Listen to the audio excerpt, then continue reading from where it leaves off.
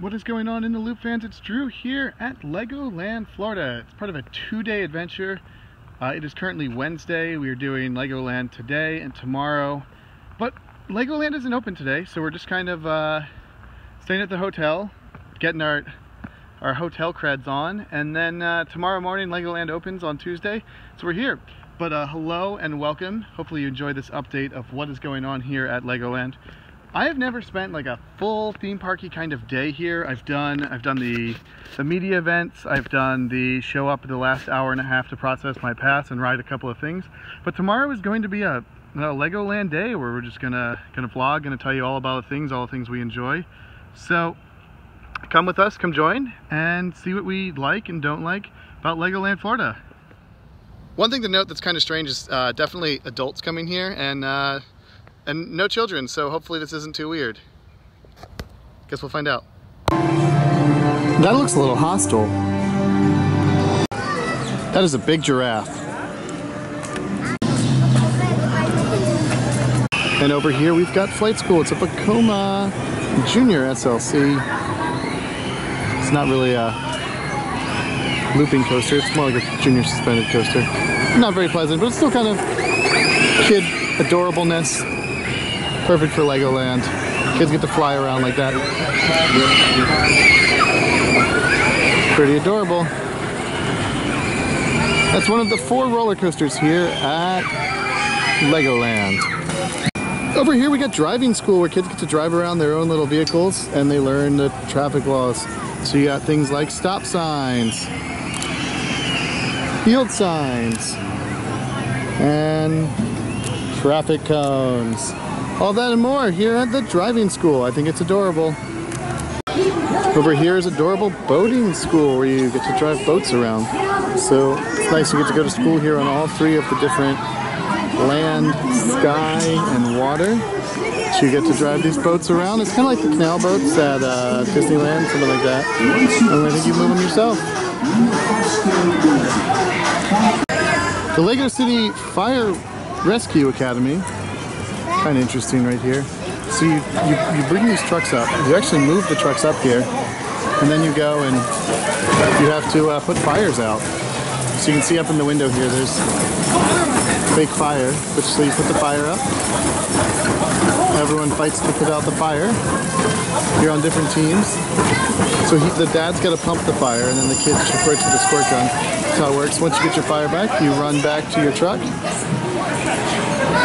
and it's like a race back again. And then you got to move it back, and it's like go, go, go, go, and you got to fight to move back. So once again, exercise the ride, but this looks really fun for kids. Like, look at them go. They're, they're killing it. All right, over here we got exercise the ride. So you use the cable, you pull yourself up to the top of the tower, and you let go and you get to slowly come back down. Looks like a lot of work. Looks fun, but I would say it also looks like a lot of work and exercise.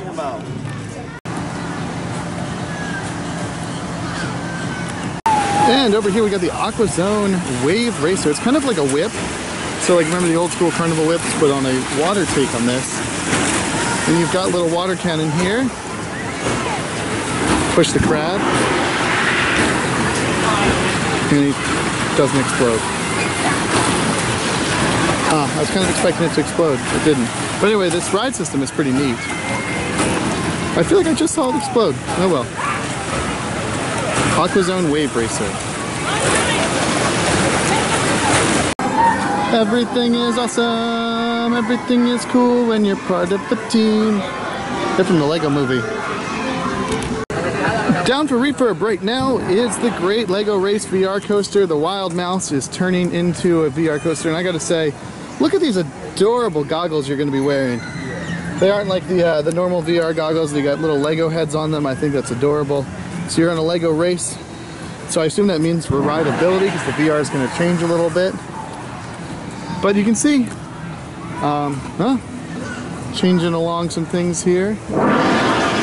As the uh, Wild Mouse, the extended Wild Mouse, is getting some VR treatment and it looks like a new queue, new entrance, and all of that good stuff. And remember, you like totally don't even stand a chance. These guys look like they're up to no good. Not a bad price. It's $13.99 for refill And you have these refill and refresh stations all over the park. Alright, so it wouldn't be me without getting a uh, souvenir cup. What's neat about the Coke Freestyle machines here is while you get free refills all day, it's got this little sensor here. So if I go like this, take the cup away, it won't even let me uh, get a drink until I put it back. So there you go, the cup's there. Gonna get our Pibb Xtra. We're going with Dr. Pepper, and we have unlimited refills until that date right there. So you fill the cup up, get your beverage, and you enjoy. But now if I were to push for more, it doesn't let me because the cup's not there. Fascinating.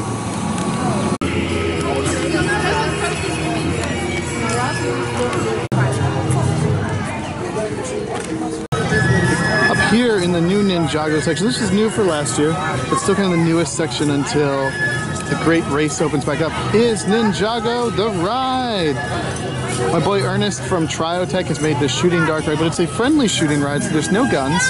And you use like ninja chop motions in order to uh, to shoot your shoot your opponents or shoot the uh, the video screens on that kind of stuff. I gotta say, I couldn't figure out how to do it. I played with the sample at IAAPA, but I wrote it here. We did it first thing in the morning. We're the only ones on the ride, and it really nothing happened. So uh, I gotta admit, right now it's a 10 minute wait. I, I would wait 10 minutes for it, but it, it's got to be a hard pass if it's a long wait because you have no idea what's going on. It, it was so hard to shoot. Uh, kids are to be confused and frustrated. Uh, talking with other in the loop staffers, it took them two to three rides to be able to uh, actually shoot the uh, the ninja chops. So while this land looks really cool, I got to admit that the ride kind of fell flat for me. Ninja Dragon. Thank you for not feeding the animals. Like that guy. Or that guy. What are these things? They look like creatures that have been uh, riding the Smiler at, uh, at Alton Towers. Maybe this is some brand synergy here, but that definitely looks like some Smiler eyes right there.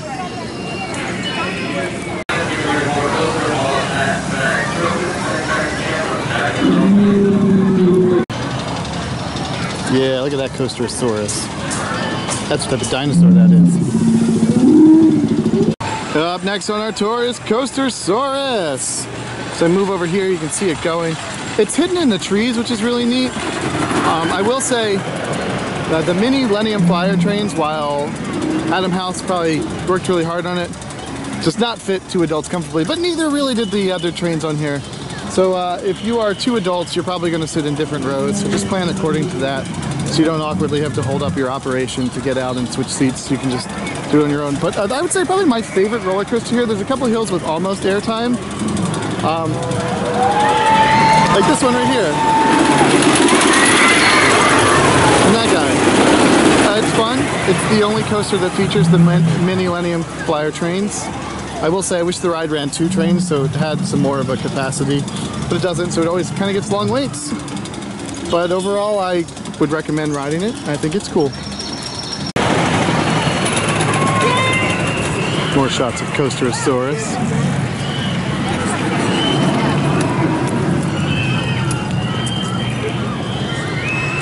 Coming for you, Adam House.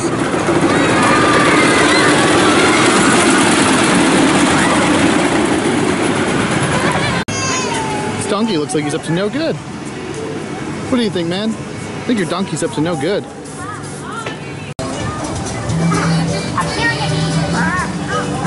Safari Trek. So you ride in cute little zebra trucks like this, like that guy down there, and you go along the track and you go past Lego animals. I think this is adorable. This might be the most adorable ride here. Does that kid look like he's having fun? Yeah, he does. It's time for the land of adventure. Hello, come ride my shooting duck ride. Up next in our adventure is the Lost Kingdom Adventure. It's a Sally Dark ride. It's really good. It's got some shooting elements here. Thoroughly enjoy it. And what is not to love about the fact that this ride is a complete walk-on? Up next on our tour is the Beetle Bounce. It's like junior dueling frog hoppers. They kind of bounce together, but they kind of don't. They have different patterns, which is kind of weird, but neat. So, junior bouncy frog hoppers.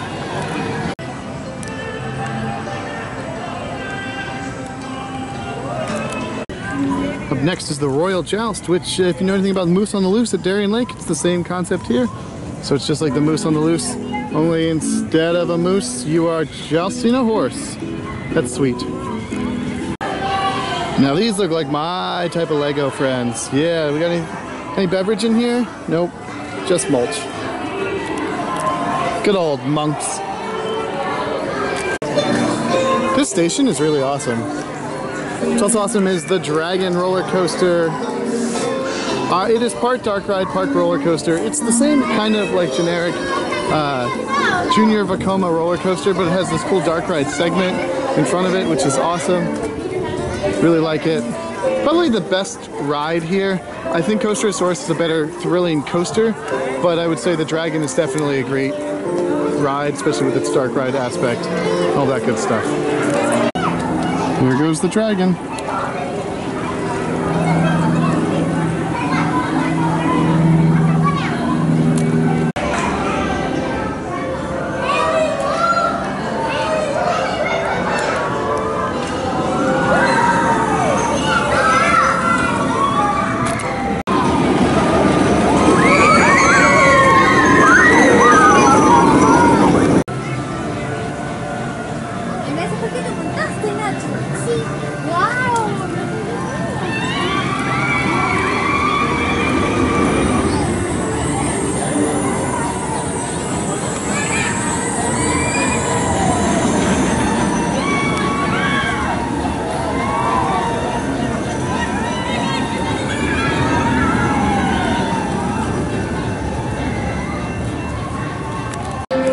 Buddy, you taking a nap? Huh? Sleepy? You taking a nap? He's taking a nap. Kind of sweet here at Legoland. You've got recycling bins and trash cans that are all recycled milk jugs. So that one is made up of 330 recycled milk jugs. Same with the recycling bin, 330 milk jugs. And then you've got the bench over here, 800 milk jugs. Made this bench right here. That's pretty cool. Next up on our tour is the World of Chima Land, home of the Quest for Chi. One thing to note about this area is the whole area of the park opens at 11 rather than 10. So don't come here first, come here a little later. You got a little splash section here for your children in the swamp. You can rest your chi over there. What's up, buddy? How's it going, man? So yeah, so here is the Quest for Chi water ride. Uh, it was fun. Did it. I will say uh, it's interesting how some of the water guns work better than others. They don't load you in as, in a group of eight, so like there's eight people for they can fit in a boat. They don't load all eight. They load much less, and I see their water guns work, so I'm gonna back up. Gonna get squirted here, but this is the. Uh, Right, and so you can squirt this way, so kids can squirt them, they can squirt you, and it all works out. Duplo Valley. Howdy, folks. Welcome to my farm here in the Duplo Valley. Here's a little splash pond section here for the uh, Duplo Valley. Baby cows are called calves. Cows are red and green colorblind. Interesting. What's this button do? Ah, it makes a moo sound. There's a cow right there. All right, now let's learn about goats. Baby goats are called kids. All right. Goats eat almost everything, even tin cans and cardboard boxes. Fun fact, they also eat your underwear. That's the noise a goat makes. So this ride is adorable as far as adorable rides go. You have these little tractors that go around this little track on this little farm. So you got little bunnies and rabbits and carrots and chicken. Who doesn't like chicken? And then you ride on little tractors. Can't get much more adorable than this. Look at that. It's chicken fact time. Chicken's related to the T-Rex. Really? Know that's the sound a chicken makes? Yeah. Check this out, guys. It's a grand carousel. It's one of those double-decker ones. It's not obviously as grand as the ones at Great Americas, but I will say the double-decker carousel is still really fascinating looking. I also find it interesting that they let parents stand next to their kids on this ride. Uh, not a lot of parks do that, so good for them. Pretty cool ride. I would personally want to ride in the upstairs horses because I think upstairs on carousels are better. All right, it's time, friends, for Lego Friends Heart Lake City. Up next on tour is Mia's Riding Adventure. That's Mia right there. Wow. I will say, I gotta say, this is probably the most thrilling ride you have here at Legoland. It's one of those Zamperla discos. It's like one of those Zamperla discos. Uh, odd height requirements, so 48 inches, which I guess is standard for all the discos. Just for a, a kid's park, that's a pretty high height requirement. We watched a little melt meltdown take place because the kid wasn't tall enough. There you go. It's, it's getting exciting on Mia's riding adventure.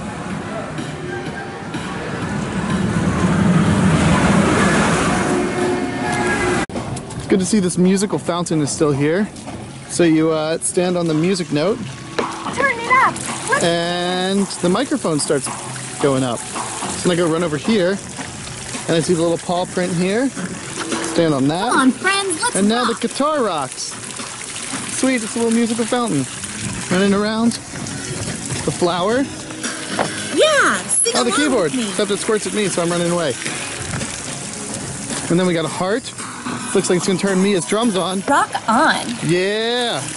Turns the drums on. Look at that. Now the base, You're butterfly. star. I'm the star. All right, good stuff. It's a Pretty cool little fountain. It's adorable. And it's shaped like a heart. If you got a service dog, they can poop right here. Ah, typical tourist, sleeping on a bench and socks with sandals. Boo. Adventures at Pirates Cove live water ski show, Battle for Brickbeard's Bounty. Gotta say, I actually really liked the adventure. Um, thought it was pretty sweet. takes place in this stadium over here on the water. I have a highlights video for you, also up on our channel. But I gotta say, really enjoyed it. It was good seeing like the old ski show mixed with Lego characters. Uh, pretty impressive. And uh, I would say must see show. So if you're coming here, definitely gotta check out this guy. It only shows two times a day, uh, so don't miss it. Don't miss it. You'll regret it.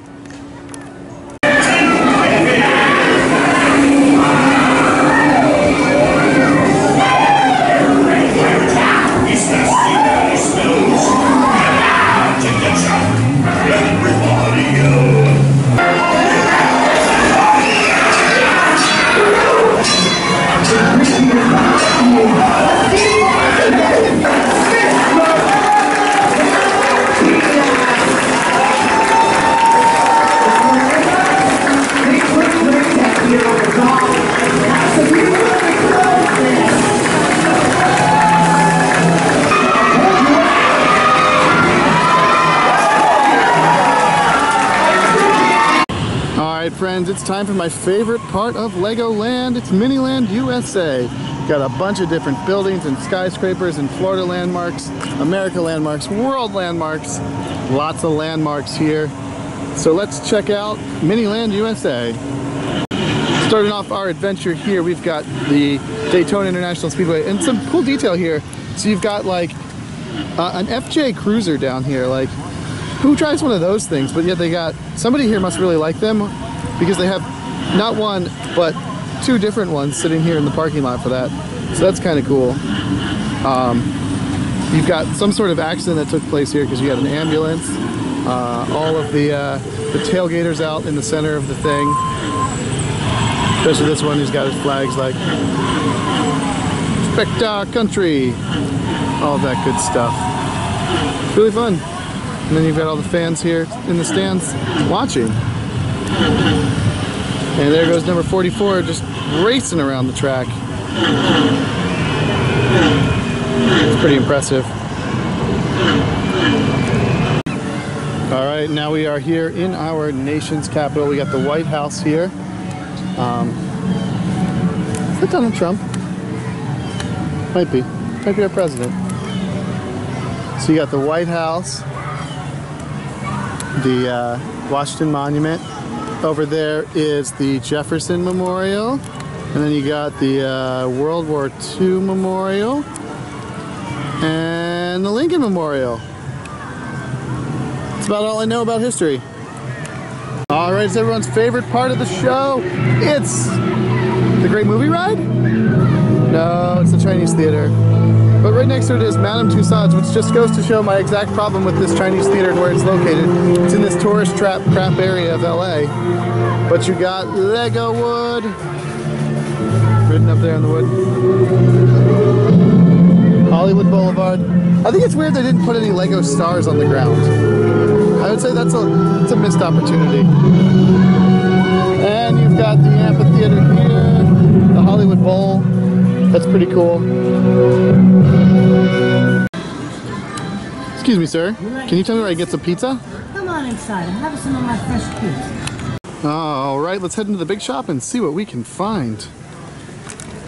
Just like I expected, you can find Legos. Uh, oh, that's interesting. I wasn't expecting to find this, but it's adult-sized t-shirts for the rides. So like I survived Coastersaurus here.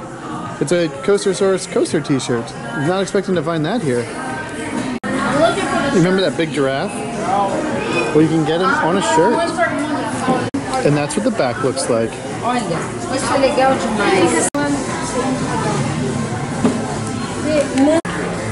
It's kind of neat. Screams legend.